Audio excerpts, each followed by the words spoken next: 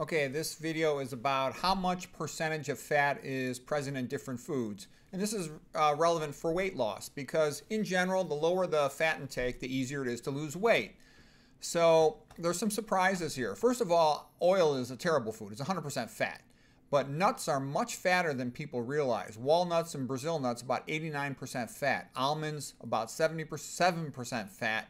Cashew nuts 71% fat. Now we're trying to get our total fat intake below 10%. So if you're eating something like these nuts in the range of uh, 70 to 90% fat, it's going to be hard to get your uh, total fat intake below 70%. Same thing with oils, even a tiny bit, 100% fat, will keep you fat. Um, flaxseed, I'm not a big fan of flaxseed. Look at this, it's 71% fat. I know some people like it. Fine, go ahead. I don't want my fat that high, and I think you can get plenty of omega 3s just from eating other plant sources. You don't need that much omega 3s. The turnover of your brain cells is very, very, very slow. Okay? Salmon, terrible food, 50% fat beef and pork about 60% fat. It depends, you know, you can make the beef and pork a little more lean, same thing with chicken, but in general it's in that ballpark, 50% or more fat. Soybeans are surprisingly fat. They're fatter than other beans. They're 40% fat. I'm not a fan of soy. I know you're going to hear all, there's almost like all this peer pressure to go for soy. I've, I've, given other lectures on why I don't think it's a good idea. It elevates insulin-like growth factor.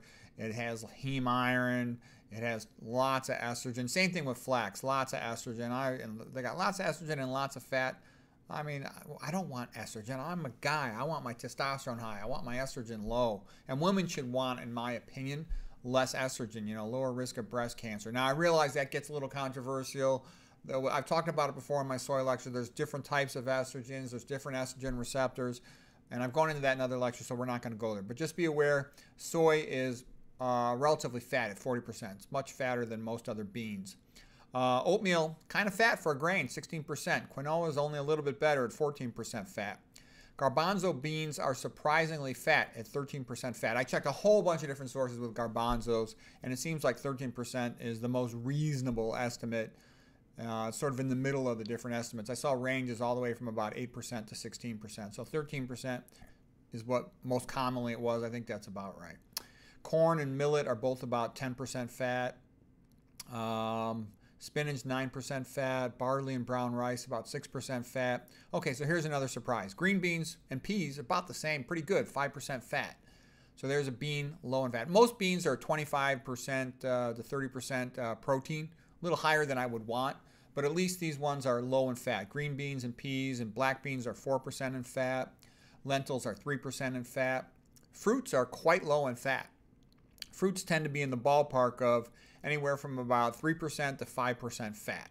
Blueberries are about 5% fat. Bananas, 4% fat. So what's this point is a lot of fruitarians are very skinny and this will seem to be, you know, probably a big part of the reason why. They're eating a very low fat diet. Fruits are also very low in protein. Protein is kind of anabolic. The more protein you eat, you know, especially animal protein, has an anabolic effect on the body, which can raise blood lipids and can also lead to weight gain.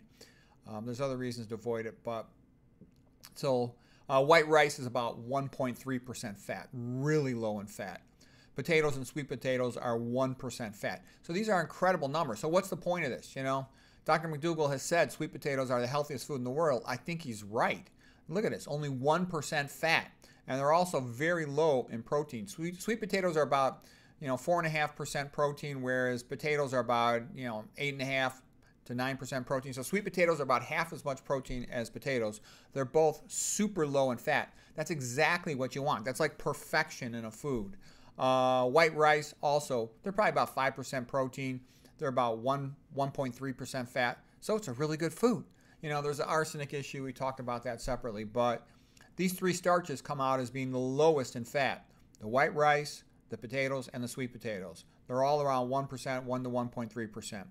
The lentils are the lowest in fat for the beans at about 3%. All the fruits are, you know, almost all the fruits are about 3 to 5% fat. So these are, you want to be skinny? This is how you can lower your fat intake. Fruits, white rice, potatoes, and sweet potatoes. And if you have to choose other beans, the black beans and the green beans are also quite low in fat. Um, as far as like what time of day to eat foods, this has come up in some of my conversations with people. I like to eat relatively, I'll call them less wet or a little bit drier foods at night before I'm going to bed. Because if you eat foods that are really wet, like oatmeal, you have to wake up more often to void. And I want to sleep more through the night to the extent that's possible. I really like eating oatmeal for breakfast or for an early lunch because then I'm more hydrated through the day if I'm going to, you know, so I think it's good in that context. Um, so, anyways, and then the other surprises were just how fat bean nuts are. A lot of people have told me they have a hard time controlling their hypertension on these nuts. All that fat in your blood is going to thicken your blood. I don't think it's a good idea. Almonds surprisingly fat as well. They're no health food. Um, and soybeans were quite fat for a bean. So, anyways, hope that helps.